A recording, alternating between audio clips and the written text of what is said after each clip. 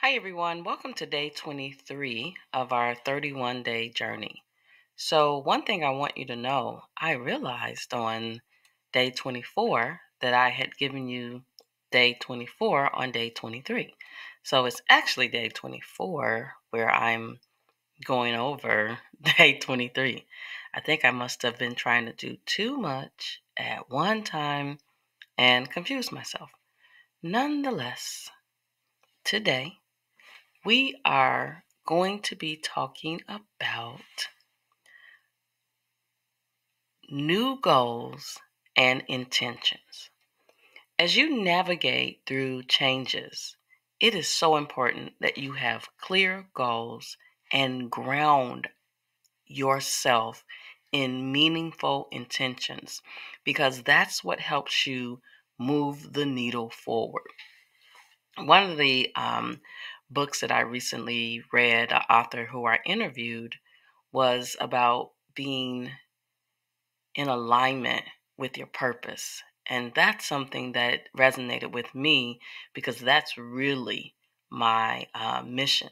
So when you have meaningful intentions, it guides your path forward, ensuring that you move, move in alignment. You got to be in alignment with your goals.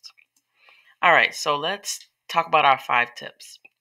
Number one, write the vision. There's the song. Write the vision. All right, so envision where you want to be once this transition is fully realized. What does the future look like? What does it feel like? What are you doing?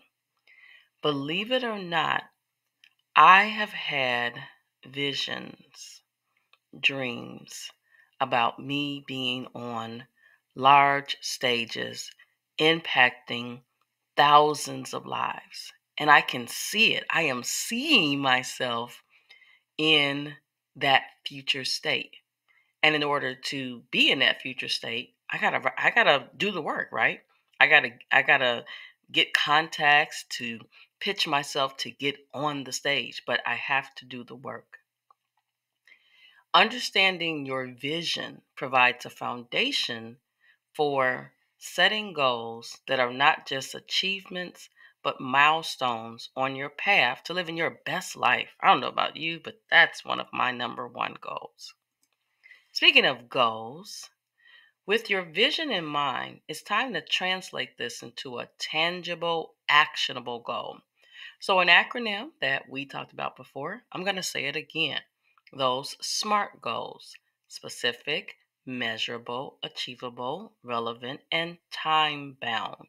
This helps you ensure that your goals are well defined and attainable. It's important that these goals should resonate with your personal values and the vision that you have for your future. I should also tell you from a personal perspective, I write my goals down every January but I have to tweak them because sometimes the goal no longer serves me or I realize that that goal was too big for the time frame that I have established. So that must mean that either my goal wasn't 100% smart or things have changed. I transitioned. Number 3, while goals are about achieving specific outcomes, intentions focus on how you want to be. Intentions guide your attitudes, behaviors, and interactions as you work towards your goals. Set intentions that reflect the qualities you wish to embody, such as maybe you want to be more resilient, or more empathetic, or more compassionate, or being open minded. I talk a lot about integrating what we're talking about in your daily life. Establishing goals and intentions is just the beginning, but integrating them into your daily life is really where the magic starts to begin, right? Create daily or weekly practices that align with your intentions, break them down into goals that reflect small steps that you can incorporate into your routine. One of the things um, about me, I have this model go big or go home. And sometimes I'm trying to go too big and it's not it's not realistic. And so I got to reel myself back in. Number 5. As you pursue your goals, you will undoubtedly encounter obstacles. View these challenges as opportunities to learn and grow. Stay flexible and adapt your strategies as needed. Always, always, always keeping that vision front of mind. And the intentions have to be consistently done. The path to achieving your goals is not a straight line, let me just tell you, but it's about persistence and then being able to adapt. Well, we are wrapping up. So today is the 24th day. So if you didn't listen to the one I posted yesterday, um, you can go ahead and listen to that. Um, I generally record these at some point in the day, depending on my day.